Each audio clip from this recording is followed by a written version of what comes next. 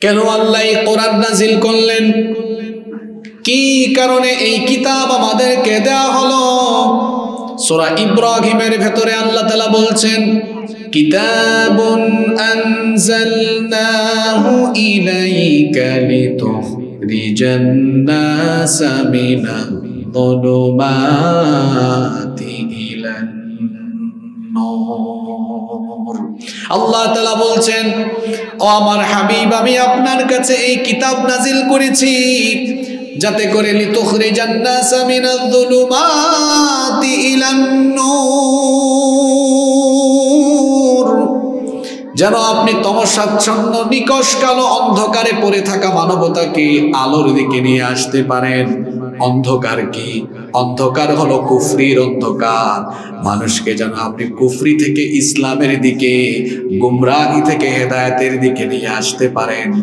এই জন্য কোরআন যিনি নাজিল করেছেন, তিনি কে? এই কোরআন আমার আপনার মতো জীবিত মানুষের জন্য নাজিল হয়েছে। কিন্তু আমরা কি করলাম? আমরা এই কোরআনকে জীবিত মানুষের জন্য যতটা কাজে লাগাচ্ছি মরা মানুষের জন্য কোরআনকে তার চেয়ে বেশি কাজে লাগানোর অপচেষ্টা করছে। জীবদ্দশায় কোরআন পড়ে না, কোরআনের সাথে সম্পর্ক রাখে না, কোরআনওয়ালা হয় না, মারা যাওয়ার পরে দেখা যায় তার উত্তরাধিকারেরা তার জন্য এই কোরআনের এক খতম, দুই খতম, শত খতম, হাজার খতম দেয়। বিশেষ ক্ষেত্রে এমনও হতে পারে, যার জন্য এই খতম দেওয়া হচ্ছে। জীবদ্দশায় ওই ব্যক্তি শুদ্ধ করে কোরআন পড়তেও জানতো না। যার জন্য কোরআনের খতম দেওয়া হচ্ছে। হয়তো এমনও হতে পারে, যতদিন জীবিত ছিল, ততদিন কোরআনওয়ালা, আলেমুল আমাদেরকে দেখলেই মনে মনে মৌলবাদী, জঙ্গিবাদী বলে গালিগালাজ করার অভ্যাস তার ভিতরে ছিল। যার জন্য মরার পরে খতম দেওয়া হচ্ছে। হয়তোবা ওই ব্যক্তি এমনও ছিল, জীবদ্দশায় যতদিন সে ছিল, ততদিন কোরআনওয়ালাদেরকে সুযোগ পেলেই তাদের হাতে হাত করা লাগিয়ে তাদেরকে বেজ্জত করেছে। জীবদ্দশায় যতদিন সুযোগ পেয়েছে কোরআনওয়ালাদেরকে নিপীড়ন করেছে কোরআনের আন্দোলনের সাথে বেয়াদবি করেছে কোরআনের আন্দোলনের কর্মীদের উপরে হিংস্র হায়নার মতো ঝাঁপিয়ে পড়েছে।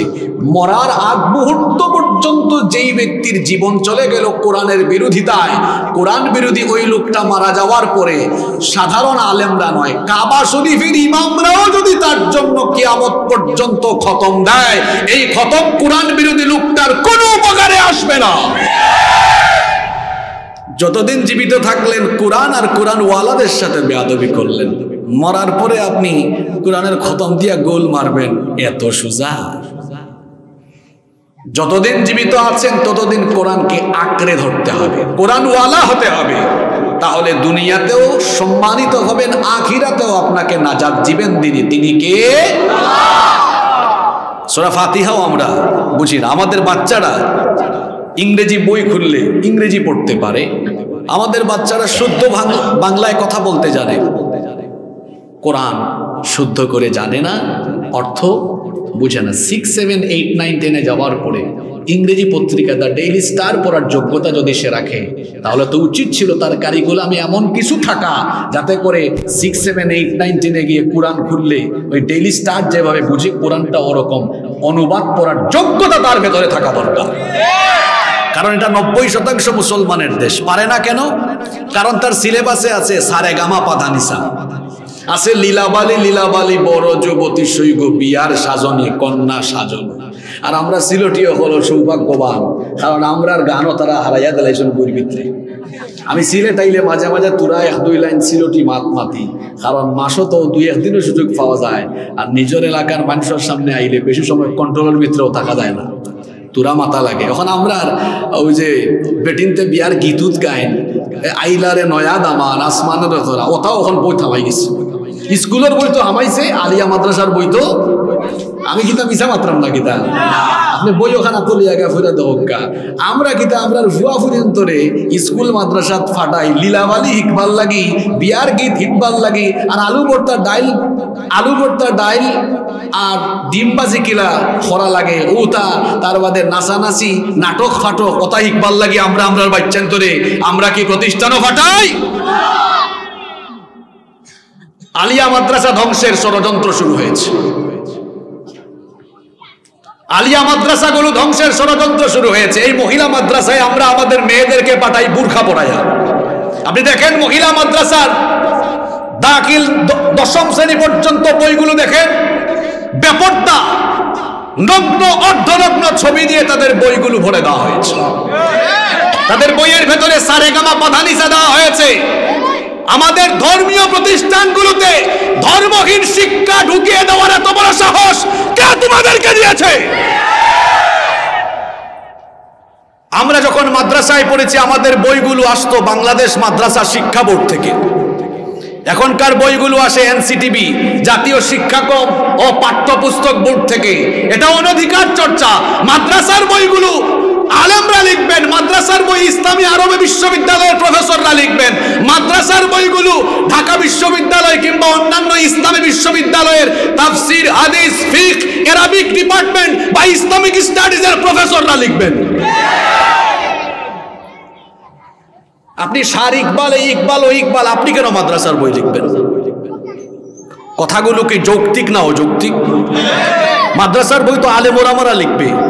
তখন মাদ্রাসার বইগুলো মাদ্রাসার মতো থাকবে। মাদ্রাসার বইগুলো যখন আলেম না লিখে, আলেমহীন ব্যক্তি, সাধারণ ব্যক্তি লিখা আরম্ভ করবে, তখনই তো ঝামেলা ঢুকবে। আপনি যদি ইঞ্জিনিয়ার হয়ে ওয়াজ আরম্ভ করেন, ওয়াজ বেলাইনে চলে যাবে। আপনি যদি আলেম হয়ে হসপিটালে ঢুকে অপারেশন করা আরম্ভ করেন, তো রুগী মারা যাবে।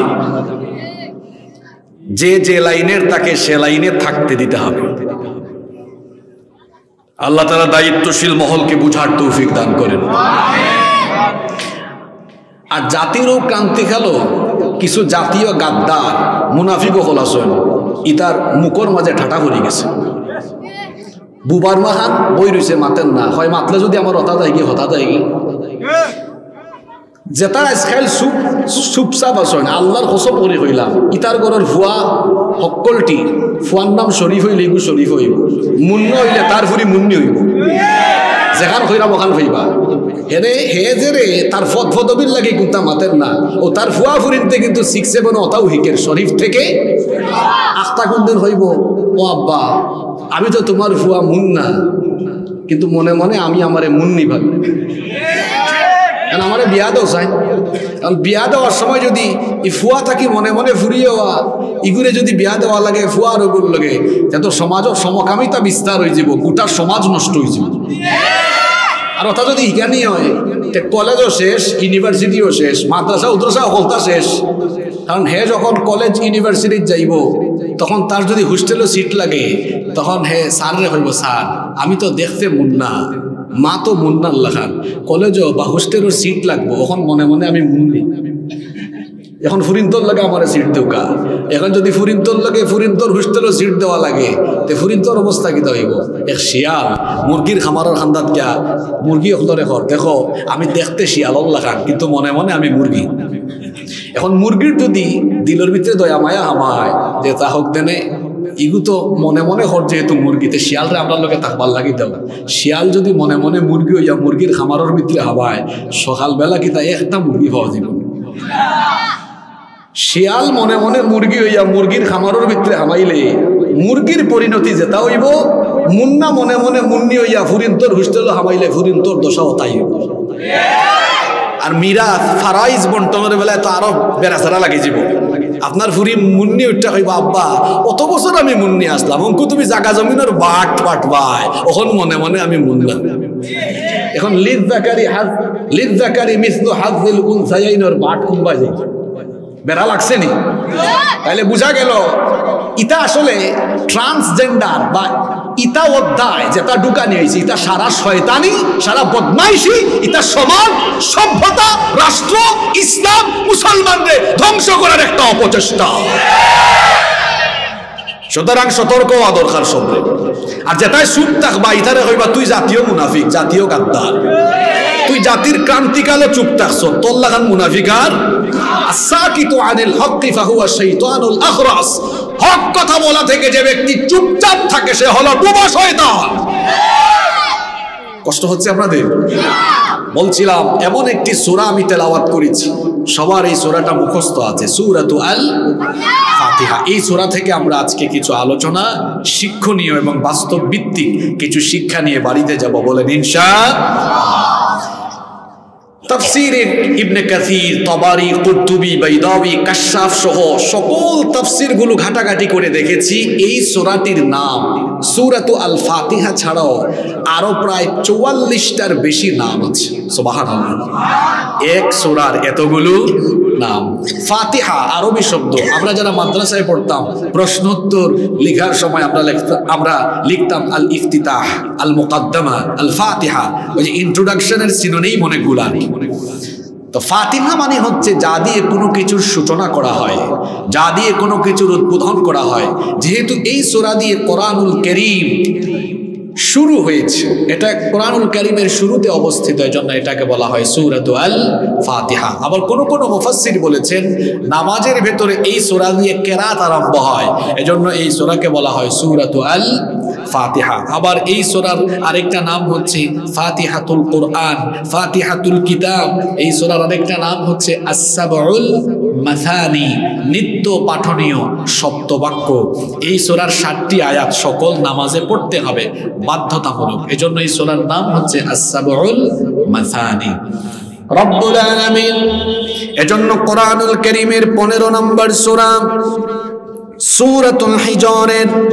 সাতাশি নম্বর আয়াতের মধ্যে বললেন, ওয়ালাকাদ আতাইনাকা সাবআম মাসানি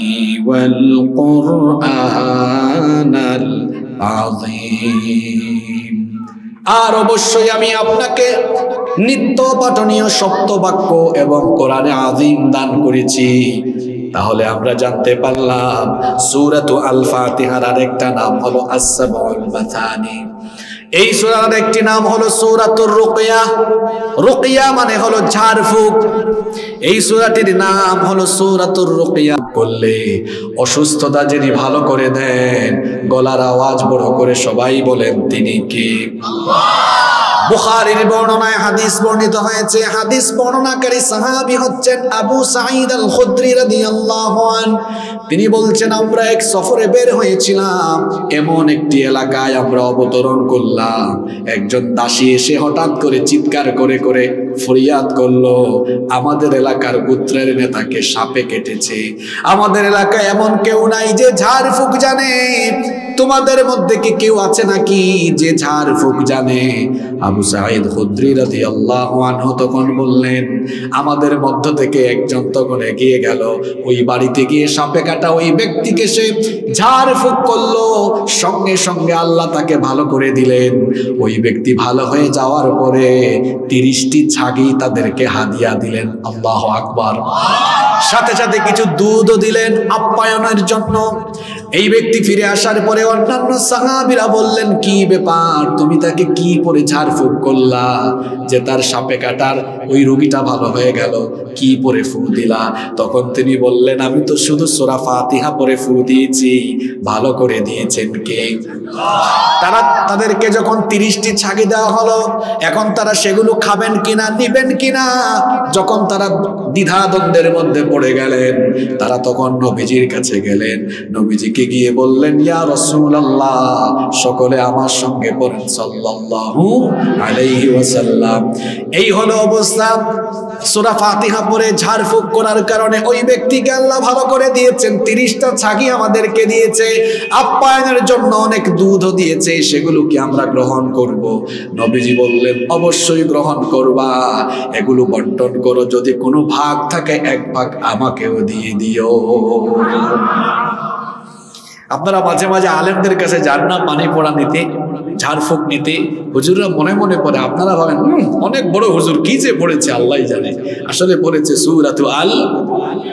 তাই বলে এখন মনে মনে নিজেকে হুজুর ভাবা আরম্ভ করেন না। তাহলে হুজুরের কাছে যাওয়ার কি দরকার? আমি পুরা ফু দিয়া দেব হুজুর সুরা ফাতিহা বুঝেন। সুরা ফাতিহার মর্ম বুঝেন। এজন্য হুজুর সুরা ফাতিহা পড়ার সময় হুজুরের অনুভূতি এক রকম আর আপনি যখন নামাজে সুরা ফাতিহা পড়েন, আপনার অনুভূতি আরেক রকম। হুজুর সুরা ফাতিহা পড়লে গায়ের লোম দাঁড়িয়ে যায়। আর আপনি সুরা ফাতিহা পড়লে তখন আপনার ব্যবসার কথা মনে হয়ে যায়। কারণ আপনি সুরা ফাতিহা বুঝেন না। সুরা ফাতিহা হচ্ছে আল্লাহর সাথে বান্দার কনভারসেশন বান্দা যখন নামাজে সুরা ফাতিহা আরম্ভ করে সুরা ফাতিহার প্রত্যেকটা আয়াতের জবাব যিনি দান করেন, জুড়ে বলেন তিনি কে? আপনি বুঝেন না বলে সুরা ফাতিহার সময় আপনি ব্যবসার হিসাব করেন, তখন আপনি তরকারিতে লবণ কম দিলেন না বেশি দিলেন, সেই হিসাব করেন, ভুটের হিসাব করেন, জায়গা জমির হিসাব করেন। আর সোরা ফাতিহা যে বুঝে, তার মনোযোগ নামাজের বাহিরে অন্য কোনো দিকে যায় আবার এই সোরার একটা নাম হচ্ছে উম্মুল কোরআন। উম্মুন, এটা ব্যাপক অর্থবোধক একটি শব্দ। কামুস অ্যারাবিক ডিকশনারি খুললে দেখা যায়। উম্মুন শব্দের একটি অর্থ হচ্ছে মা। যেমন আরবীয় বাচ্চারা তাদের মাকে উম্মি বলে ডাকে, বাপকে আবি বলে ডাকে। তো মানে হলো মা। উম্মুল কোরআন মানে কোরআনের মা। অর্থাৎ এই কথার মানে এই নয় যে গোটা কোরআনের সকল সুরার মা হলো সোরা ফাতেহা আর সোরা ফাতিহার পেটের ভিতর থেকে সব সুরার জন্ম হয়েছে। বিষয়টা এমন নয়। এটি ব্যাপক অর্থবোধক শব্দ। যেমন মক্কাকে বলা হয়েছে উম্মুল করা। অর্থাৎ পৃথিবীতে যত এলাকা আছে, সকল এলাকা সমূহের সেন্টার, কেন্দ্র হলো এই মাক্কাতুল মুকাররামা। তো উম্মুল শব্দের আরেকটি অর্থ হলো সেন্টার বা মূল। উম্মুল কোরআন এর অর্থ মুফাসসিররা করেছেন। এটি হলো কোরআনের মূল অংশ, খুলাসা মানে সামারি। গোটা কোরআনে যা আছে, এক সূরা ফাতিহার ভিতরে তা আছে। টেলিভিশনে আপনারা খবর দেখেন না খবর দেওয়ার সময় প্রথমে হেডলাইন। দেখবেন নিউজ প্রেজেন্টাররা বলে, রাত আটটার সংবাদে স্বাগত জানাচ্ছি। প্রথমে সংবাদ শিরোনাম, এরপরে বিস্তারিত। সোরা ফাতিহা হচ্ছে কোরআনের সংবাদ শিরোনাম হেডলাইন আর বাকি সব হলো বিস্তারিত। সোবাহান আল্লাহ পড়েন। পত্রিকা হাতে নেবেন নয়া দিগন্ত। হুম এরপরে আরও যত পত্রিকা আছে, পত্রিকা হাতে নিলে লিখবেন প্রত্যেকটা সংবাদের উপরে হেডিং থাকে, বড় করে। এরপরে বিস্তারিত থাকে। সুরাতু আল ফাতিহা হচ্ছে কোরআনুল করিমের হেডিং, কোরআনুল করিমের শিরোনাম, সারমর্ম। আপনি সোরা ফাতিহাকে ব্যাখ্যা করলে হয়ে যাবে গোটা কোরআন। আর গোটা কোরআনকে যদি আপনি সারমর্ম বানাতে চান, হয়ে যাবে সুরাতু আল ফাতিহা সুবহানাল্লাহ, পড়া। আবার এই সুরার আরেকটা নাম হচ্ছে সুরাতু এটা সলাতের সূরা, নামাজের সুরা। বুখারীতে হাদিস এসেছে, নবীজি বলেছেন, লা সালাতা লিমান লাম ইয়াকরা বিফাতিহাতিল কিতাব। সূরা ফাতিহা যে ব্যক্তি নামাজে পড়ে না, তার নামাজ হয় না। যেহেতু এই সূরা নামাজের শুরুতে তেলাওয়াত করতেই হবে এই জন্য এই সূরাটাকে বলা হয় নামাজের সূরা সূরাতুস সালাহ এটা হলো নামাজের সূরা। আবার এই সুরার আরও নাম আছে, সুরাত আল আসাস আসাস মানে মূল। এই সুরার নাম সুরাত আশিফা সুরাতুল ওয়াফিয়া পূর্ণতা প্রাপ্ত সুরা। সুরা ফাতিহাকে ভাগ করে পড়া যায় না। ভাগ করে পড়ার কোনো সুযোগ? আপনি সুরা রহমান ভাগ করতে পারবেন, সুরা ফাতিহা ছাড়া অন্য সোরা ভাগ করে পড়তে পারবেন। কেমন করে ভাগ করবেন? মনে করেন আসরের নামাজে প্রথম রাখাতে সুরা ফাতিহা পড়ার পরে আপনি সোরা বাকারার পাঁচ আয়াত পড়লেন। তাহলে সোরা বাকারা পুরাটা পড়লেন না। অল্প কিছু বললেন, দ্বিতীয় রাকাতে অন্য কোন সুরার আরও দুই, তিন আয়াত পড়তে পারবেন, অসুবিধা নাই। তাহলে নামাজের ভেতরে অন্যান্য সুরা থেকে আপনি অল্প অল্প পড়ার সুযোগ আছে, কিন্তু সুরা ফাতিহা অল্প পড়ার সুযোগ নাই, পড়লে আপনাকে পুরাটাই পড়তে পড়লে না, এটা পড়তেই হবে। এজন্য এই সুরার নাম হলো সূরাতুল ওয়াফিয়া, পূর্ণতা প্রাপ্ত সূরা। এটাকে পুরা পুরা একদম, পুরাটা নামাজে পড়তে হয়, আদায় করতে হয়। সুবহানাল্লাহ, পড়ুন। আবার এই সুরার নাম হচ্ছে সুরাত আর রাস রাস মানে মাথা। মাথা ছাড়া দেমন। কোন মানুষের দেহ দিয়ে ওই ব্যক্তিকে শনাক্ত করা যায় না। সুরা ফাতিহা ছাড়া। আপনার নামাজও পূর্ণাঙ্গ হবে না, পরিপূর্ণ হবে না, এমনকি সোরা ফাতিহা ছাড়া আপনি কোরআনকেও ভালোভাবে অনুধাবন করতে পারবেন না। সুরা তো আল ফাতিহা এটি হচ্ছে কোরআনুল করিমের সর্বপ্রথম নাজিলকৃত পূর্ণাঙ্গ সুরা। সোমান আল্লাহ পড়েন। এই সুরার আরও অনেকগুলো নাম আছে, সময়ের কারণে আমি বললাম না। এটাকে আবার সুরাতুল দোয়া দোয়ার সুরাও বলা হয়। কীভাবে চাইতে হবে? এই সুরার ভেতরে শিখিয়েছেন কে? অভদ্রের মতো চাওয়া যাবে না। ভদ্রতা, শালীনতার ভিত্তিতে বান্দা চাইবে। দেখেন, আল্লাহ আমাদের উপর কত দয়াবান। কি করে আপনি আল্লাহর কাছে চাইবেন? সেটাও আল্লাহ দয়া করে আপনাকে শিখিয়ে দিয়েছেন। সোবান আল্লাহ পড়েন হাত তুলেই যেন না বলেন। আল্লাহ আমাকে জায়গা, জমি দেন, সম্পদ দেন, টাকা দেন, পয়সা দেন, ইজ্জত দেন, সম্মান দেন। এটা হাত তুলেই যেন না বলে আল্লাহ শিখিয়েছেন, দুয়ার কিছু আদব আছে। হাদিসেও এই আদবগুলো বর্ণিত হয়েছে। দুয়ার আদব হলো প্রথমে আল্লাহর প্রশংসা করতে হয়, কারণ চাইতেছেন কার কাছে? এজন্য সুরাতু আল ফাতিহার প্রথমে আছে আল্লাহর প্রশংসা, এরপরে দ্বিতীয় পর্যায়ে আছে বান্দা নিজের পরিচয় তুলে ধরছে, তৃতীয় এবং শেষ পর্যায়ে বান্দা আল্লাহর কাছে আবেদন করছে। এই ভদ্রতা ছাড়া কারও কাছ থেকে আপনি কোনো কিছু আদায় করতে পারবেন মনে করেন চেয়ারম্যান সাহেব এসেছেন। তারা দরমের মানুষ আসার পরেই বললেন, চেয়ারম্যান সাহেব, রাস্তা দালাউকা হতা দালাউকা হতা দালাউকা চেয়ারম্যান সাহেব সামনাসামনি আসি মারলো, মনে মনে হইবা ই কি যান মানুষ মা আমি আইলাম, আমার একটু উপস্থাপনা করেন না, পরিচয় করে দেন না যে আমরা চেয়ারম্যান সাহেব আইসুন। আগে তো পরিচয় করে দেওয়া লাগবে। এর বাদে তো হওয়া লাগবে, আমরা তারা ধরমর মানুষ, পরিচয় দিয়া মানে তিন নাম্বার পর্যায়ে গিয়া না আপনি চাইতা। এখন ফাইলেও আপনি চাইলিরা এটা অন্যায়। এজন্য আল্লাহ শিখালেন, প্রথমে আল্লাহর প্রশংসা করো, এরপরে নিজের পরিচয় তুলে ধরো, এরপরে ফাইনালে তুমি আল্লাহর কাছে চাও। সোবান আল্লাহ এবার আসেন তো, আমরা এই সোরার ভিতরে ঢুকি। এই সোনার আলোচনা শুরু করার আগে সংক্ষিপ্ত একটা হাদিস আমরা জেনে নেই। এটি হলো কোরআনের এমন একটি ফজিলতপূর্ণ সোরা।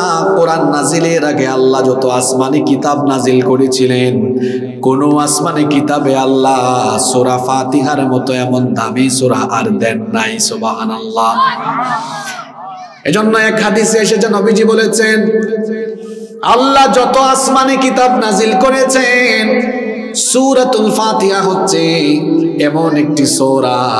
কোরআন ছাড়া অন্য কোনো আসমানি কিতাবে আল্লাহ এত ফজিলতের সোরা দেন নাই।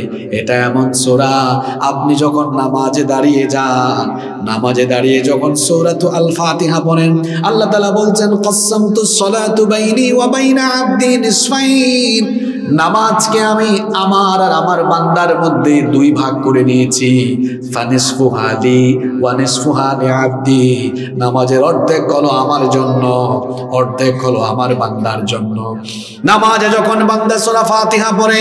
প্রত্যেকটি আয়াতের জবাব আল্লাহ এভাবে দেন। হাদিসে এসেছে, নবীজি বলেছেন, বান্দা যখন নামাজে দাঁড়িয়ে বলে, আলহামদুলিল্লাহি রাব্বিল আলামিন সকল প্রশংসা হচ্ছে আল্লাহর, যিনি জগৎ সমূহের প্রতিপালক। বান্দা যখন আল্লাহর প্রশংসা করে সূরা ফাতিহার প্রথম আয়াত পড়ে, আল্লাহ চুপ থাকেন না, সঙ্গে সঙ্গে জবাব দেন হামিদানি আবদি আমার বান্দা নামাজে দাঁড়িয়ে আমার প্রশংসা করল এরপরে বান্দা যখন বলে আর রহমানির রাহিম। তুমি পরম করুণাময় মেহেরবান। আল্লাহ তখন জবাব দেন, আসনা আলাইয়া আব্দি, আমার বান্দা আমার গুণ কীর্তন করল। এরপরে যখন আপনি বলেন, মালিক ইয়াউমিদ্দিন তিনি বিচার দিবসের মালিক, আল্লাহ তখন জবাব দেন, মাজ্জাদানি আব্দি, আমার বান্দা আমার শ্রেষ্ঠত্ব বর্ণনা করল। এরপরে যখন আপনি বলেন ইয়া কেন আবুদু ইয়া কেন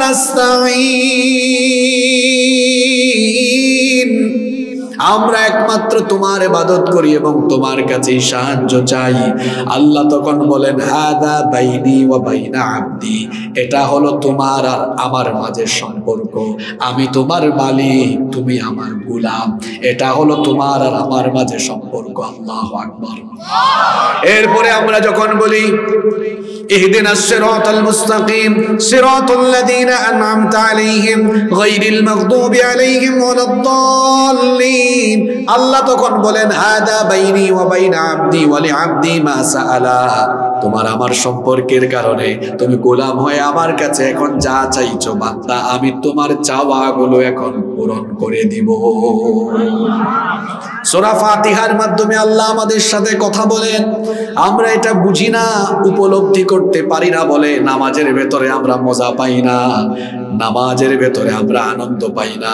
যদি আমরা বুঝতাম, তাহলে নামাজের ভেতরে আমাদের মজা লাগতো, ইবাদতের ভেতরে আমরা স্বাদ পেতাম। আসুন এই সোরা আমরা শুরু করি। প্রথম আয়াতে আল্লাহ বলছেন, কেউ চুপ থাকবেন না, সকলে জবান খুলে দিয়ে সওয়াবের নিয়তে আমার সঙ্গে তিলাওয়াত করেন। আল্লাহ তাআলা প্রথম আয়াতে বললেন, আলহামদুলিল্লাহ রাব্বিল আলামিন। শুরুতেই বলেছেন, আলহামদু মুখে দিয়ে মাত মারণ না দিন। আলহামদু আলহামদু সকল প্রশংসা কার? কোরআনের শুরুতে আছে প্রশংসা। কোরআন ছাড়া পৃথিবীর সব বই খুলে দেখেন, প্রথমেই ব্যর্থতা। প্রথমেই আমাদের স্কুল, মাদ্রাসা, কলেজ বিশ্ববিদ্যালয়ের সব বইয়ের শুরুতে ব্যর্থতা। যারা বই লিখেছে, ব্যর্থতার পরিচয় দিয়েছে প্রথমে। বলেছে, আমরা যে বইটা রচনা করলাম, সম্পাদনা করলাম, এখানে কোনো ভুল থাকলে কারেকশন দিয়ে পরবর্তী সংস্করণে আমরা এটা ঠিক করে দিব। কোরআন ছাড়া পৃথিবীর সমস্ত বইয়ের শুরুতে এই কথা লেখা আছে। আর কোরআনের শুরুতে আল্লাহ এমন কিছু লেখেন নাই, ও তারা ধর্মর মানুষ আমি আল্লাহ তোমাদের কিতাবে হান দিছি, ওহান ফরো ফোরা বুল টুল তুকাইয়া বার করো, বাদে আমারে জানাইও। বা দরবার আমি ঠিক করে দিব নাই বলান কথা আছে তো কোরআন শরীফের মাথেন দেখা খানে। আল্লাহ প্রথমেই বলেছেন, আলহামদুলিল্লাহ রব্বিল মানবীয় সকল ভুল, ত্রুটি, অক্ষমতা, দুর্বলতার ঊর্ধ্বে সেই সমহান সত্তা যিনি সর্বময় প্রশংসার অধিকারী, তিনি এই কিতাব প্রশংসা দিয়ে শুরু করেছেন। এরপরেই আল্লাহ বলেছেন, দালিকাল কিতাবুলা ওয়াইবাফি এমন কিতাব সন্দেহ করার মতো কিছুই এখানে নাই। আল্লাহু আকবার। অথেন্টিক, নির্ভেজাল, ফ্রেশ একটি কিতাব। কিতাবের নাম হলো আর একটু জুড়ে বলেন। এই কিতাব শুরু হয়েছে আল্লাহ প্রশংসা দিয়ে আর আমাদেরকে শেখানো হয়েছে, এই যে কোরআন দিয়েছি, কোরআন হাতে নিয়ে প্রথমে প্রশংসা করো। কোরআন খুলেই প্রশংসা করো, কোরআন পেয়ে প্রশংসা করো। কারণ এই কোরআন হলো আল্লাহর দেওয়া সবচাইতে শ্রেষ্ঠ নিয়ামত। আল্লাহ যদি কোরআন না দিতেন, তাহলে আমরা হেদায়েতের পথ, সঠিক পথ, ভালো ভালো পথ, জান্নাতের পথ আমরা কখনো পেতাম না। এজন্য আল্লাহ কোরআন নাজিল করে আমাদেরকে সঠিক পথ দেখিয়েছেন। আল্লাহ জন্য বলছেন, প্রথমেই তুমি আল্লাহর প্রশংসা করো। সুবহান আল্লাহ পড়েন। আমরা আল্লাহর প্রশংসা করব কেন? আল্লাহর প্রশংসা আমরা করব দুইটা কারণে। জোরে বলেন তো কয়টা কারণে? দুইটা কারণে আপনি আল্লাহর প্রশংসা করবেন। নাম্বার ওয়ান এক নাম্বার হলো তিনি হচ্ছেন সকল গুণ এবং শ্রেষ্ঠত্বের অধিকারী। দুনিয়াতে যা আছে, যা দেখি আর যা দেখি না সব কিছুকে এত সুন্দর করে যিনি বানিয়েছেন, জোরে বলেন তো তিনি কি? এই জন্য সৃষ্টির প্রশংসা হয় না, প্রশংসা হয় স্রষ্টার আমরা মাঝে মাঝে আল্লাহর সুন্দর সৃষ্টি দেখে সেগুলোর প্রশংসা করি। যেমন আমরা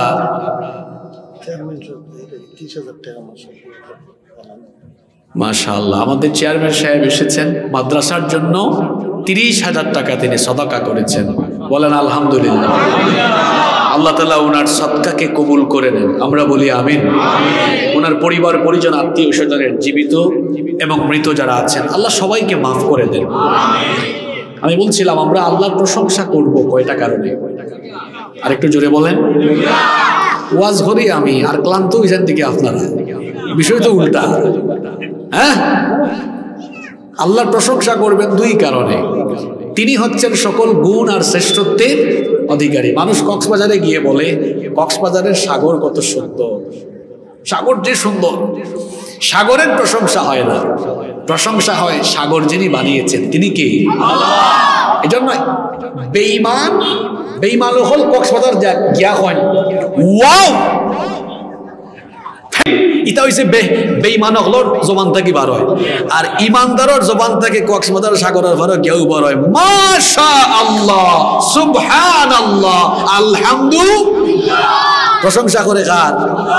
আর হে জানে, সাগরের প্রশংসা হয় না, সাগরের মালিকর। কিতা, ওয়াও হরা আছেন নানি? নাইলা দুনিয়াত নাই। মৌলিবাজারের চা বাগান আইয়া।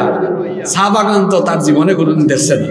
চা বাগানের ভিতরে হামাইয়া আর ফেসবুক এখন তো সপ্তাহ লাইভ আর অঙ্ক নয়া নয়া ফিতনা আবার হয়েছে অতদিন আছিল ট্রাভেল ব্লগ ফুড ব্লগ অঙ্ক আইছে কাপল ব্লগ এটা চাচাও হলে এটা ওয়াজ বুঝতে নাই। এটা জোয়ান ফানতে বুঝলছে ঠিক আছে রে কথা? কাপল ব্লগর সোজা বাংলা হইল বউ বেচ্চা, ব্যবসা করা বউর সেরা বিক্রি করিয়া টেকা কামানি। ঠিক আছে নি কথা? যেটাই ফয়সাল লাগে তার বউ বেছিলাই এল্লাখান রুচিহীন, বেহায়া, ব্যক্তিত্বহীন পুরুষ। আল্লাহ আসমানের নিচে জমিনের উপরে আর হইতে পারে না। আল্লাহ ইতারে হেদায়াত দোকান হেদায়াত সফল না থাকলে আল্লাহ যা ইচ্ছা আল্লাহ তা করুক। কষ্ট জানি আপনারা? দুই নম্বরে আপনি আল্লাহর প্রশংসা করবেন। তিনি আপনার উপরে অগণিত নিয়ামত বর্ষণ করেছেন। যা আপনি গুনে গুনে শেষ করতে পারবেন। এজন্য আল্লাহ বলেছেন ওয়া ইন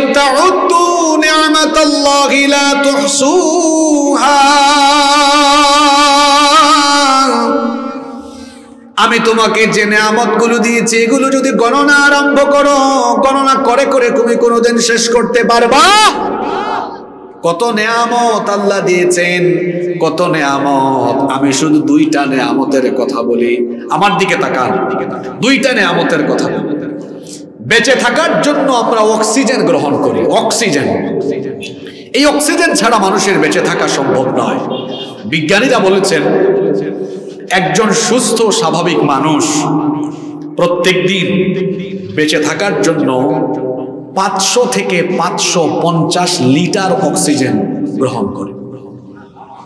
এই পাঁচশো থেকে পাঁচশো পঞ্চাশ লিটার অক্সিজেন আপনি আপনার বাপ দাদার পয়সা দিয়ে কিনেন না। এটা ফ্রি পান আপনি। যদি এটা ক্রয় করা লাগতো, কেনা লাগতো, তাহলে এর বাজার মূল্য হতো। বর্তমান বাজারে পাঁচশো থেকে পাঁচশো পঞ্চাশ লিটার অক্সিজেনের দাম হলো পাঁচ থেকে ছয় লক্ষ টাকা। আমি যদি পাঁচ লক্ষ টাকা ধরি, তাহলে আমার আপনার মতো সুস্থ মানুষ প্রতিদিন অক্সিজেন গ্রহণ করে কয় লক্ষ টাকা? আর একটু জোরে বলেন। পাঁচ লক্ষ টাকা। দৈনিক যদি পাঁচ লক্ষ হয়, মাসে কত? একশো পঞ্চাশ লক্ষ। দেড় কোটি টাকা। বছরে হয় আঠারো কোটি টাকা। তাহলে যার বয়স যত, তত দিয়ে আঠারো কোটি গুণ। মেরে দেখেন। জন্মর বাদে আজ পর্যন্ত আপনি million billion trillion dollar oxygen গ্রহণ করছেন আপনার বাপ দাদা হাবি গোষ্ঠীর সম্পদ বিচ্ছাও অত টাকার অক্সিজেন কিনে আপনার বাচ্চা থাকা সম্ভব সুবান আল্লাহ মুখি দিয়ে বার হয় না এই অক্সিজেনের নিয়ামত দিছেন খেয়ে আর মাঝে মাঝে আর একটা আছে রানি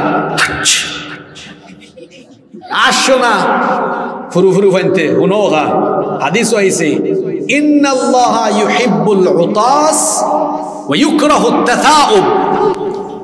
আল্লাহ হাঁচি পছন্দ করেন আর হাই তুলারে অপছন্দ হল আমরা আর সব মানুষের বাফর নাম আদম আলাই ইসালাম আদম আলাই ইসাল্লাম আল্লাহ বানাইয়া যখন তানোর ভিতরে রূপ ঢুকাই দিছেন ঢুকাইয়া দেওয়ার বাদেও মারছেন হাসিয়া। মাইরা লগে লগে তানার জবান থেকে বার হয়েছে আলহামদু তাই খেনে আলহামদুলিল্লাহ কইছেন। ও গত শতাব্দীত বিজ্ঞানী হলে কষ্ট কইরা ওখান বাহরছেন ওখান তফসির যারা বালা করে বুঝছেন এখন যে আলহামদুলিল্লাহ এখানে এখানে হয়েছে। আদম রে আল্লাহ বানাইছেন, এটার ছয়টা পর্যায় আছে আল বিদায়া ওয়াল নিহায়া এবং অন্যান্য তাফসির, গ্রন্থর মাঝে এটা কাহিনীগুলো আইছে। আল্লাহ তাদের ছয়টা ক্যাটাগরি দিয়ে বানাইছেন পয়লা ফেরেস্তারে ফাটাইয়া দুনিয়ার সব কালার ওর মাটি নেওয়াইছেন এর লাগে আদমর ফুয়া ফুরিন, খেউ লাম্বা, খেউ বাট্টি খেউ খালা, খেউ দোলা, খেউ শ্যামলা। ই অত জাতর খেনে কারণ আল্লাহ সকল জাতর মাটি দিয়ে আদম আলাইসাল্লাম রে বানাইছেন। এর লাগে তান গরর ফুয়া ফুরিন সন্তানা দিয়ে এখগু এখ কালার হয়েছেন কথা বুঝছেন নি? ছয় ক্যাটাগরিতে আল্লাহ বানাইছেন। ওখানটোর উপরে পানি ডাইল্লা, বৃষ্টি দিয়ে আল্লাহ কাদা মাটি বানাইছেন, এটেল মাটি বানাইছেন। বাদে এর উপরে আকৃতি, এর বাদে ঠনঠনে মাটিতে আল্লাহ পরিণত করছেন। খলাকল ইনসান আমিন সলসালিন কাল ফাখার। ঠনঠনে মাটি থেকে আল্লাহ আদমকে বানিয়েছেন। এরপরে সেখানে রুহ ঢুকিয়ে দিয়েছেন। রুহ দেওয়ার পরে তিনি হাঁচি দিয়েছেন। এই হাঁচি দেওয়ার মাধ্যমে তাকে বানানো বানানোর সময় তার ভেতরে যে ময়লা ঢুকেছিল, সেই ময়লাগুলো আল্লাহ বের করে দিয়েছে। সোমান আল্লাহ পড়ে অর্থাৎ বিজ্ঞানী হলেও এখন প্রমাণ করছে। আমরা হলে আসি, দিই না নেই।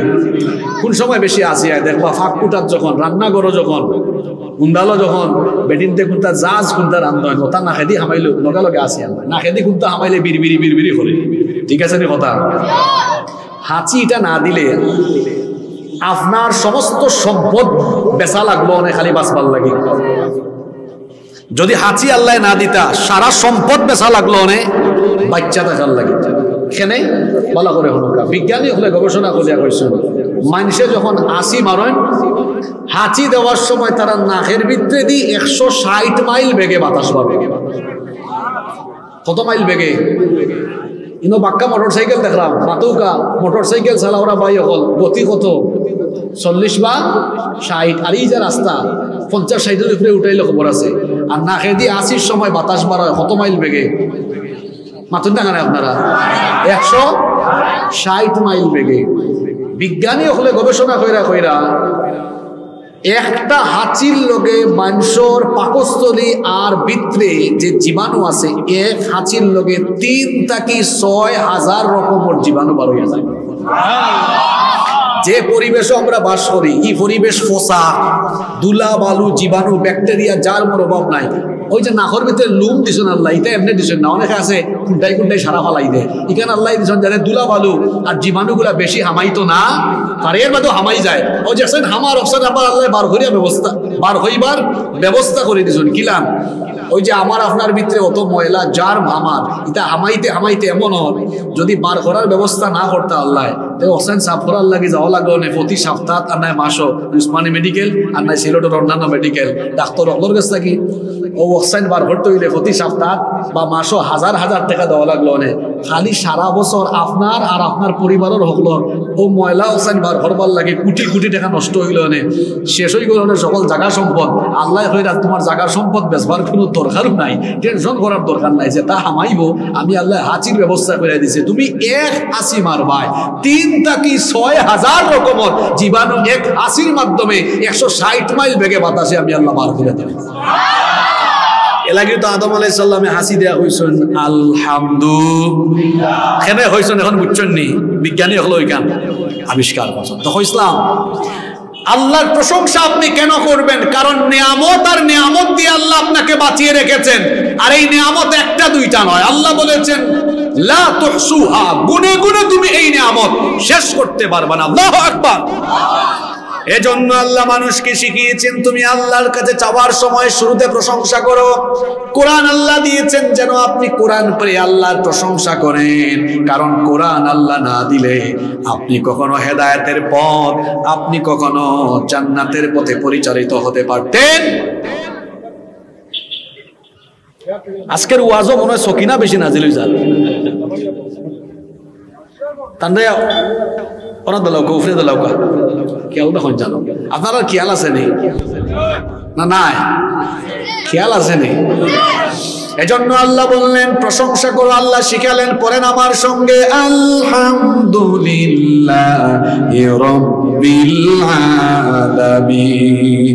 আলহামদুলিল্লাহ বলো, আল্লাহর আল্লাহ রসুল বলেছেন, বান্দা যখন আলহামদুলিল্লাহ বলে আল্লাহর শুক্রিয়া আদায় করে, তখন আল্লাহ তালা আসমান জমিনের মধ্যবর্তী অংশ এত পরিমাণ নেকি আল্লাহ তারা আমল নামায় দান করে দেন।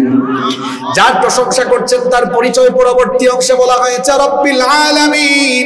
তিনি হচ্ছেন জগৎ সমূহের প্রতিপালক। কোরআনের প্রথম আয়াতের ভেতরেই বিজ্ঞান আছে বহুমাত্রিক জগতের ধারণা। কোরআনের প্রথম আয়াতেই দেওয়া হয়েছে জগৎ সমূহ বলা হয়েছে, সকল জগতের প্রতিপালক যিনি গলার আওয়াজ বড় করে সবাই বলেন তিনি কি? যারা মনে করে কোরআন মোল্লা মৌলবীদের কিতাব বিজ্ঞানের যুগে আমরা বিজ্ঞান পড়ব, কোরআন শিখব পরে, তাদের জেনে রাখা উচিত কোরআনের প্রথম সুরা সুরা ফাতিহার প্রথম আয়াতে বিজ্ঞানের ধারণা দেওয়া হয়েছে, বহুমাত্রিক জগতের ধারণা প্রথম আয়াতে দেওয়া হয়েছে, বলা হয়েছে, রব হলেন তিনি, বহুমাত্রিক জগতের লালনকারী, পালনকারী যিনি বহুমাত্রিক জগৎ, এই যে পৃথিবীতে আপনি বাস করেন, এটা হলো জগৎ সমূহের ভেতরে মাত্র একটা জগৎ। আপনি কোথায় আছেন? আপনি বড়লেখা উপজেলার তারাদরমে আছেন। বড়লেখা কোথায়? মৌলভীবাজারের একটা জেলার অংশ। মৌলভীবাজার কোথায়? সিলেট বিভাগের একটা জেলা। সিলেট বিভাগ কোথায়? বাংলাদেশের একটি বিভাগ। এই বাংলাদেশের মতো পৃথিবীতে প্রায় দুইশো পঞ্চাশটার উপরে দেশ আছে। এই দেশগুলো মিলে পৃথিবী নয়। এটা পৃথিবীর চার ভাগের এক ভাগ। এই হলো মাটি। বাকি তিন ভাগ পানি। আর মাটির চেয়ে পানির পরিমাণ এত বেশি, বিজ্ঞানীরা বলেছেন শুধুমাত্র প্রশান্ত মহাসাগরের আয়তন হলো ষোলো কোটি ছাপ্পান্ন লক্ষ বর্গ কিলোমিটার। আল্লাহ আকবার। আটলান্টিকের আয়তন আট কোটি চব্বিশ লক্ষ বর্গ কিলোমিটার। গুগল শরীফে সার্চ দিয়ে দেখবেন। উইকিপিডিয়াতে সকল তথ্য আছে। এই বিশাল পৃথিবী এটাই জগৎ নয়। এটা হলো আমাদের সৌরজগতের একটা ক্ষুদ্রতম অংশ। পৃথিবী হচ্ছে সৌরজগতেরই একটা গ্রহ। পৃথিবীর বাহিরেও আরও প্রায় আট নয়টা উপগ্রহ আছে, আপনারা শিখছেন না ছোটবেলায়? হ্যাঁ শনি, বুধ, মঙ্গল, বৃহস্পতি, ইউরেনাস, নেপচন শিখেছেন না? সব হলো এই সৌরজগতের ভিতরে। একটা সৌরজগৎ নয়। লক্ষ লক্ষ গ্যালাক্সির ভেতরে আছে লক্ষ লক্ষ কোটি কোটি সৌরজগৎ। সৌরজগতের বাহিরে পানি জগৎ, উদ্ভিদ জগৎ, মরু জগৎ, অরণ্য জগৎ, পশু জগৎ, নাম না জানা আরও সকল জগৎ। সকল জগতের রব হলেন একজন। জুড়ে বলেন তিনি কি? সময়ের অভাবে সব বলা যাবে না। বলছিলাম, কোরআনের প্রথম সুরার প্রথম আয়াতে কোরআন উল্টালেই বিজ্ঞান খুঁজে পাবে না। শুধু রব্বিল আলামিন নিয়ে গবেষণা করলে বেঈমান ইমান আনতে বাধ্য। কত বড় কথা বলা হয়েছে। রব্বিল আলামিন। সাগরের মাছ এটা আরেক জগৎ, সেখানে কেউ মাছকে খাবার দেয় না, তারে খাওয়ায় কে? আফ্রিকার জঙ্গলে অনেক প্রাণী আছে, এদেরকে আমরা খাওয়াই, না খাওয়াই কে? সুন্দরবনের এত প্রাণীকে খাওয়াই কে? আকাশের মধ্যে যে পাখি উড়ে, এদেরকে আমরা খাওয়াই, না খাওয়ান কে? এই যে দেখেন, শীতের দিন গেল, আমরা কত ভারী ভারী পোশাক পরলাম, কিন্তু পশুদের কোনো পোশাক লাগে না, কারণ তাদের গায়ের চামড়ার মধ্যেই অনেক পশু আছে, দেখবেন, ভারী ভারী চামড়া লোম দিয়ে আল্লাহ তার চিরস্থায়ী পোশাক দিয়ে দিয়েছেন। এরকম করে সকল জগৎগুলোকে যেরকম করে যে জগৎটাকে সাজানো দরকার, পরিচালনা করা দরকার, সেগুলোকে যিনি সুন্দর করে নিয়ন্ত্রণ করছেন তিনি কে? এরপরে আল্লাহর পরিচয় পরে রায়তে দেওয়া হলো আর রহমানের রহিম তিনি হচ্ছেন দয়াবান, তিনি হচ্ছেন মেহেরবান। আমার আল্লাহর দয়া হলো এত বেশি, আমার আল্লাহ এই দুনিয়াতে ইমানদারকেও খাওয়ান, বেঈমানকেও খাওয়ান। আজকে যে সূর্যের আলো সূর্যের আলো দেখা গেল, এই সূর্যের তাপ সূর্যের আলো এটা ইমানদারের জন্য, বেঈমানের জন্য, সকলের জন্য। আল্লাহ দুনিয়াতে আল্লাহ দুনিয়াতে হলেন রহমান, কিন্তু আখিরাতে আল্লাহ হয়ে যাবেন রহিম। এজন্য আল্লাহ কোরআনের অন্য সূরায় বলেছেন, ওয়াকানা বিল মুমিনিনা রহিমা। তিনি হলেন মুমিনদের জন্য রহিম। কিয়ামতের দিন শুধুমাত্র ইমানদারদের উপরে তিনি দয়া করবেন। এরপরে তৃতীয় আয়াতে আল্লাহ বললেন, মালিক ইয়াউমিদ্দিন। তিনি হলেন বিচার দিবসের মালিক এই দুনিয়া এবং গোটা সৃষ্টি জগৎ একদিন ধ্বংস হয়ে যাবে।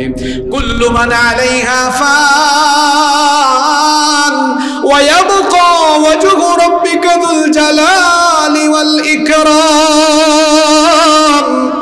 সবকিছু একদিন ফান হয়ে যাবে। কেবলমাত্র তিনি থাকবেন। এরপরে যিনি বিচার দিবসের কর্তৃত্ব গ্রহণ করবেন, তিনি হচ্ছেন আল্লাহ।